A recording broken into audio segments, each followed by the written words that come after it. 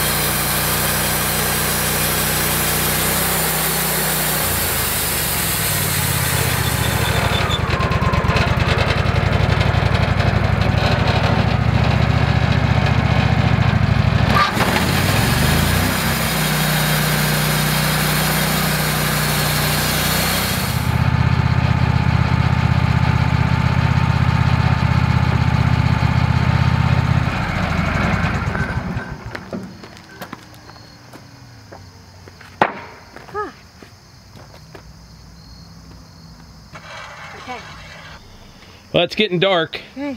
Yeah, I did get uh, some pretty nice lumber out of that one log. Like I said, it wasn't uh, straight, but uh, it was either this or firewood, and this was probably the better choice. Got, let's see, one, two, three, four, five that are probably 10 inches, and one, two, three, four, five, six that are about four. That's pretty good. Well, you want to go split some wood before it gets dark, and then we'll put everything away. Sure. Sounds good.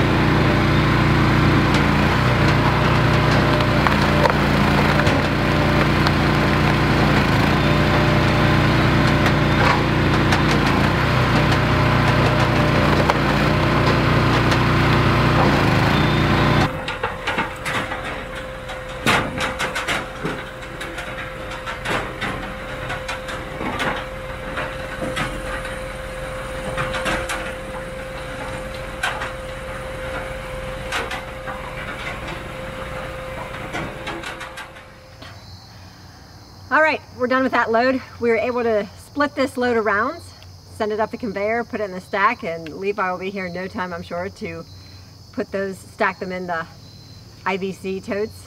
And it's been a great week. We had great weather. Monday we worked on the mini cabin. We sawed some boards a couple times this week with the Woodmizer and we were able to get some trees cut up into rounds and split some wood. So we got a lot done in between all of the family stuff and the kids stuff and you know hunter stuff that kind of thing uh, After dinner tonight, Eva and I spent a little time looking for homecoming dresses. Uh, I'd rather you, I don't know. laundry All right, I'm doing like Mike, I'm rambling. All right, thanks so much. Um, if you like these videos, click the like button, subscribe, and share them with your friends. See you on the next one.